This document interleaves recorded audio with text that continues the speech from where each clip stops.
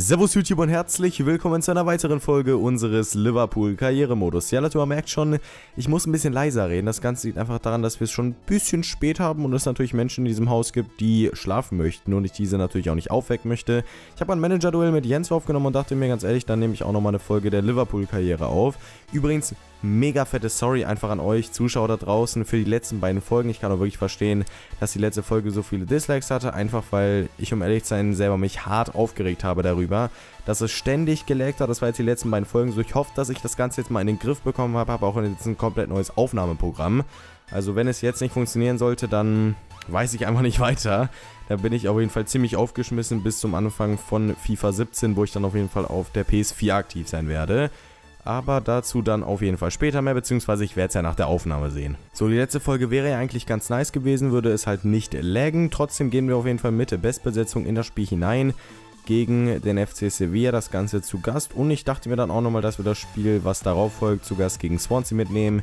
Gegen Stoke und Hull City werde ich dann nochmal simulieren. Und die Spiele gegen Everton und Chelsea werden wir dann in der nächsten Folge haben plus dann vielleicht auch nochmal eure Transfervorschläge, weil wir sind ja mittlerweile im Dezember, Anfang Januar beginnt das Ganze ja, das ganze Transferfenster in der Wintertransferphase, das Ganze eben ab Januar und dann schauen wir auf jeden Fall mal, vor allem was die Torwartposition angeht, aber auch so Spieler wie Götze und so weiter, müssen wir mal gucken, ob wir da auf jeden Fall nochmal aktiv werden. Es ist auf jeden Fall auch ein sehr interessantes Spiel hier. Liverpool, Sevilla gab es ja auch im Europa League Finale, aber es geht auch darum, wer hier eben Platz 1 übernimmt und wer auf Platz 2 letztendlich landet.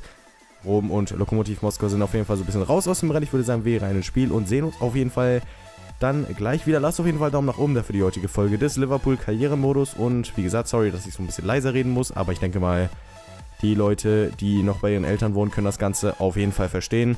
Wenn man mal so in der Nacht wach ist und man einfach nicht laut reden kann, weil die Eltern ansonsten vielleicht so das ein oder andere Wörtchen mitzureden haben. Aber naja, ich würde sagen, wir rein ins Spiel. Ich entschuldige mich jetzt schon mal, wenn ich nicht rumbrüllen kann oder generell einfach leise bin und ihr das nicht so feiert wie die normale Kommentierweise. Aber naja, bis gleich.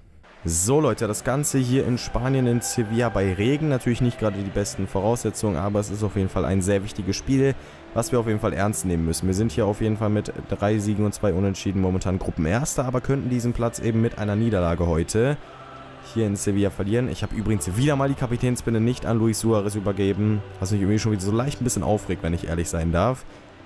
Weil ich ja nicht umsonst Umfragen starte, um das Ganze dann halt irgendwie nicht zu erfüllen. Spiel am Fokus heute Luis Suarez, der in den letzten Folgen oder fast eigentlich in allen Folgen, in allen Spielen, die wir bisher hatten, getroffen hat. Also unser absoluter Top-Torschütze. Dazu macht er auf jeden Fall auch noch viel fürs Team, viele Vorlagen und so weiter. Wir sehen die Formation von Sevilla mit einer Überraschung. Achel Korea vorne im Sturm. Ansonsten auf jeden Fall Konoplianka auf der linken Seite und Banega auf der 10 sehr gefährlich. Ralf Herrmann im Tor.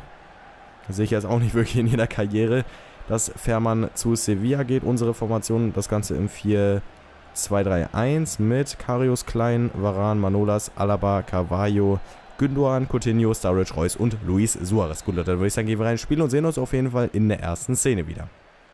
So, Sturridge, Coutinho, vielleicht mal wieder aus der Distanz abziehen. Und er kommt auf jeden Fall sehr gefährlich, aber Ralf Herrmann ist ja bekannt dafür, dass er ein sehr stabiler Keeper ist, deswegen pariert er das Ganze erstmal. So, wir versuchen es mal wieder mit einer was anderen Eckenart und Weise. Ja, Suarez, Abschluss wäre nicht möglich. Wieder Coutinho, Fake Shot, kann sich vorbei dribbeln und das ist ein klares Foul. An Philipp Coutinho wird auch abgepfiffen vom Schiedsrichter. Ich weiß nicht, Ansonsi war es, glaube ich, mit dem Foul. Und kriegt dafür auch die gelbe Karte. Das ist eigentlich eine richtig gute Freistoßposition. Luis Suarez hatte Freistoßpräzision. Hat er, aber Reus wäre halt der beste Schütze von allen. Oder? Kurzer Vergleich. Coutinho oder Reus. Wir nehmen ganz klar Coutinho. Äh, wir nehmen ganz klar Marco Reus und... Oh mein Gott. Ralf Herrmann wächst hier heute echt über sich hinaus. Was der hier für zwei Paraden jetzt schon nach nicht mal 10 Minuten raushaut, ist auf jeden Fall krass. Coutinho jetzt nochmal, aber das Ganze wird erstmal verhindert von Reyes. Alaba, wichtiger Zweikampf, den er hier gewonnen hat. Ich könnte jetzt Suarez schicken, aber nehme hier mal lieber den Sturridge mit. Der setzt sich im Laufduell durch. Suarez steht nicht im Abseits. Nein, ich wollte ihn querlegen für Sturridge. Vielleicht wäre es echt schlauer gewesen, nochmal abzuziehen. Beziehungsweise halt einfach abzuziehen und nicht nochmal quer zu legen. Flanke Konoplianka, nein! Und das gibt es doch gar nicht. Ach, Korea mit dem 1 zu 0. Und um ehrlich zu sein, es ist nicht wirklich verdient. Diesmal kein Torwart irgendwie in der Schuld oder so. einfach schlecht draufgegangen auf Konoplianka. Ich habe gesagt, der ist gefährlich und da sieht man es wieder. Aber irgendwie steht halt auch kein wirklich passender Spieler bei Ache Korea. Alaba ist zwar groß, aber halt nicht Innenverteidigergröße. Manolas und Varan, da fragt man sich überhaupt, wo die stehen. Also Stellungsspiel in der Situation schwach und dementsprechend Sevilla mit dem 1 zu 0 aus dem Nichts, muss man sagen. Also verdient ist es nicht. Wir waren hier momentan spieldominant. Haben eigentlich nur gewartet, bis es irgendwann mal passiert, bis es irgendwann mal Boom macht und das Tor passiert, aber irgendwie irgendwie will das heute nicht so wirklich. Aber jetzt mal vielleicht Gündoan. Sehr stark. Suarez. Ein Verteidiger noch vor sich. Und der macht so ein Tackling. Unglaublich, ey. Aber richtig on point. Eine Stunde später, zwei Stunden später, drei Stunden später. Yep, und damit ist das Spiel vorbei und ich muss sagen, ich bin echt unzufrieden mit der Leistung. Also, was Fährmann heute gehalten hat, ist echt absolut unnormal. Und Karius auf unserer Seite mit drei Paraden. Sieht dagegen echt lächerlich aus, aber Fährmann für die Wintertransferphase, ich könnte es mir echt vorstellen. Ist jetzt ein bisschen bitter, weil wir einen sehr schweren Gegner fürs Achtelfinale bekommen werden, beziehungsweise halt einen, Gruppenersten. Aber mal gucken, es könnte auch ein schwacher Gegner werden, aber die Wahrscheinlichkeit ist nicht groß. Yep, und wie ich es erwartet hatte, es wird natürlich kein leichter Gegner für uns werden. Achtelfinalgegner, wie das Champions League-Finale in der letzten Saison, Liverpool-Barcelona. Was gibt's Schöneres? So, wir setzen auf Rotation für das kommende Spiel gegen Swansea City. Wir sehen hier die Formation im 4-3-3, das Ganze mit der B-Mannschaft. Also trotzdem denke ich mal, haben wir eine sehr starke Formation, eine sehr starke Mannschaft, die eigentlich drei Punkte aus Wales mitnehmen kann, aber mal gucken. Wir haben momentan zwei Punkte Vorsprung auf Chelsea in der Liga, das heißt, ein Patzer wäre zwar erlaubt, aber wir wollen nicht patzen. Deswegen gehen wir rein ins Spiel.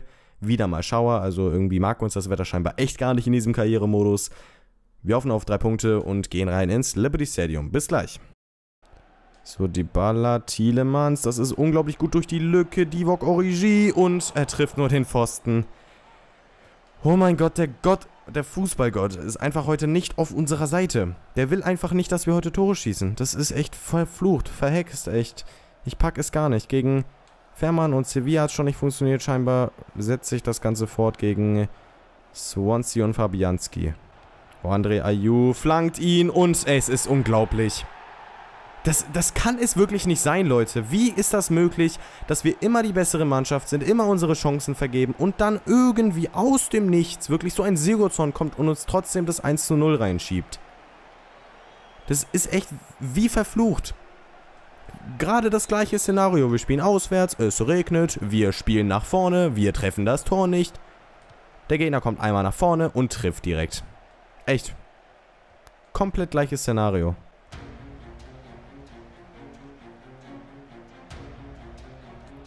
Quincy Promise wird hier gerade an allen möglichen Trikotstellen gezogen, aber das interessiert uns gar nicht, denn der Pass war richtig erste Sahne und die Baller schiebt ihn rein. Solche Bälle gehen dann wiederum rein, also absolut der Kullerschuss hier von Paulo Dybala und aber der geht rein, weißt du? Das ist echt unglaublich. Das ist echt unglaublich, dass so ein Ball reingeht, nur weil er ein bisschen präziser geschossen ist.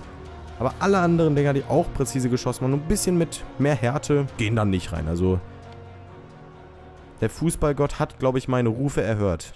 Oh, war es abseits? Ich glaube, ja. Es war abseits. Nein, war es nicht. Kommt Thielemanns. Jawohl. Yes. Spiel ist auf jeden Fall gedreht. Es war kein Abseits. Was ich eigentlich gar nicht erwartet hatte. Ich dachte, dass es abseits wäre. Deswegen habe ich auch direkt abgezogen. Mit Dybala, aber er war auf jeden Fall an beiden Toren beteiligt. Ist jetzt zwar nicht gerade das äh, schön zum Ansehen-Tor, aber ganz ehrlich, das interessiert mich gar nicht, denn wir führen. Spiel gedreht. Sehr stark gemacht. Erst Baller und jetzt Juri Tiedemanns. Der übrigens lange Zeit verletzt war. Wir kommen auf jeden Fall auch wieder zurück im Team, Junge. Oh, absolut der Fehler. Origi liegt den quer und Baller macht ihn rein. 3 zu 1. Das Spiel ist entschieden und damit sind wir auf jeden Fall gut im Rennen jetzt hier. Was das Ganze angeht, also das Spiel von Sevilla scheint echt vergessen zu sein. Sehr stark gemacht hier von Origi. Und legt ihn dann lieber quer, anstatt alleine das Ganze zu machen. Die Baller mit dem zweiten Tor mit dem Doppelpack im Spiel und dem nächsten Saisontreffer. Oh, jetzt macht Swansea aber plötzlich echt komische Fehler. Die haben sie am Anfang des Spiels noch nicht gemacht, wo sie geführt haben. So, Firmino mit dem Weak Foot und 4 zu 1. Also ich weiß jetzt nicht, warum es plötzlich so einfach läuft mit den Toren. Aber irgendwas scheint bei Swansea mittlerweile echt schief zu laufen. Firmino mit dem schwachen Fuß. Oder ist er Linksfuß, Rechtsfuß? Ich glaube aber eher, dass er Rechtsfuß ist. Deswegen mit dem schwachen Fuß ins lange Eck und Fabianski sieht da nicht so gut aus, aber an sich muss man auch sagen, echt die Defensive, die hat irgendwie nachgelassen. auf jeden Fall von 100% irgendwie am Ende nur noch auf 20%. Dementsprechend gewinnen wir das Ganze am Ende doch sehr deutlich mit 4 zu 1 in Swansea. Weitere drei Punkte für die Liga. Die B-Mannschaft hat auf jeden Fall mal wieder gezeigt, zu was sie in der Lage ist, zu was sie fähig ist, wenn ich die erste Halbzeit, muss ich sagen, echt zum Kotzen fand. Was am Ende ein sehr starkes Spiel und ein 4 zu 1 Sieg im Liberty Stadium. Kann man auf jeden Fall gut mitleben. Wie viele Tore hat die Ball eigentlich mittlerweile? Sind übrigens mittlerweile fünf Tore. In sieben Ligaspielen vier Tore kann man auf jeden Fall so stehen lassen. Ansonsten ist er halt mehr Rotationsspieler als eben ja, Anfangsspieler. Startelf-Spieler, wie man das Ganze auch jetzt immer bezeichnen möchte. Wir simulieren das Ganze heim gegen Stoke City mit der B-Mannschaft. Mal gucken, ob die das Ganze jetzt hier auch im zweiten Spiel hintereinander reißen werden. Origi mit dem 1 zu 0. Am Ende ist es ein 3 zu 1 Sieg. Affelei mit dem zwischenzeitlichen 1-1, aber Cavallo und Promise besiegeln den Sieg hier gegen die Stokes. Gegen die Potters. Nicht gegen die Stokes, gegen die Potters. So, wiederum die A-Mannschaft darf sich beweisen in einer Zu-Gast-Simulation. Mal gucken auf jeden Fall, ob sie das Ganze hier reißen kann. Gegen Hull City.